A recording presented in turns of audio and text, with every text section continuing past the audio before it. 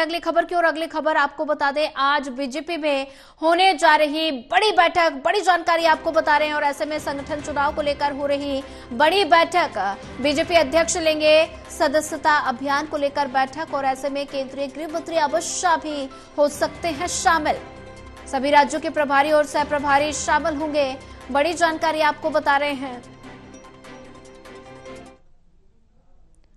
आज बीजेपी में होने जा रही बड़ी बैठक संगठन चुनाव को लेकर ये बड़ी बैठक होने जा रही है और ऐसे में बीजेपी अध्यक्ष लेंगे सदस्यता अभियान को लेकर बैठक। बड़ी जानकारी और ऐसे में ऐसी खबर पर ज़्यादा जानकारी साझा करने के लिए हमारे साथ असिस्टेंट एडिटर ललित कांडपाल जुड़ चुके हैं। ललित कांडपाल जी आज भारतीय जनता पार्टी की बड़ी बैठक होने जा रही है और ऐसे में संगठन चुनाव को लेकर ये बड़ी बैठक का आ, आगाज़ होने जा रहा है। ऐसे में अगर बात की जाए तो संगठन चुनाव को देखते हुए ये बैठक कितनी महत्वपूर्ण?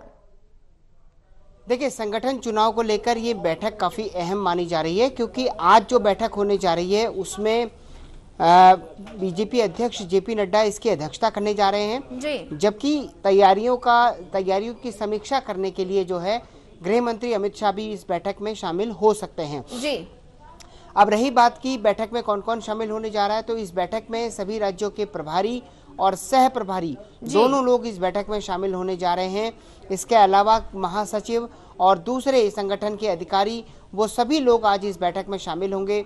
इस बैठक में जो मकसद है सोनिया इस बैठक मकसद का इस बैठक का मकसद जो है वो है संगठन चुनाव को जल्दी से जल्दी करवाना। हम्म। बीजेपी अध्यक्ष से लेकर सभी प्रदेशों के मंडलों के जिलों के अध्यक्षों की नियुक्ति करना और इसमें तेज़ी लाना ताकि ये काम जो है जल्दी से किया जा सके और भारतीय जनता पार्टी को उसका नया अध्यक्ष मिल सके। जी, जी ललित कांडपाल जी अगर बात की जाए तो बैठक में संगठन चुनाव को लेकर और क्या कुछ मुद्दे रहेंगे जिन पर इस बैठक में चर्चा होने जा रही है? देखिए, इस बैठक में जो अहम मुद्दे जिन पर बैठक का एजेंडा जिसे कहा जाए, अगर देखा जाए तो उसमें सदस्यता अभियान को और तेज करना, सदस्यता अभियान की अब तक जो अभी तक सदस्यता हुई है, उसकी समीक्षा करना। भारतीय जनता पार्टी ने एक लक्ष्य तय किया है, उस लक्ष्य तक भारतीय जनता पार्टी पहुँची है या नहीं पहुँची है, उसको करना।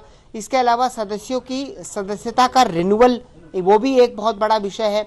तो कई सारे जो लक्ष्य हैं भारतीय जनता पार्टी के उनको लेकर जो ये सदस्यता अभियान काफ़ी पहले लॉन्च किया गया था उसकी अब तक क्या प्रोग्रेस हुई है कितनी प्रोग्रेस हुई है कैसी समीक्षा रही है ये सारी बातों पर जो है चर्चा होने जा रही है। जी, जी। ललित कांडपाल जी ज़्यादा जानकारी साझा करने के लिए आपका धन्यवाद।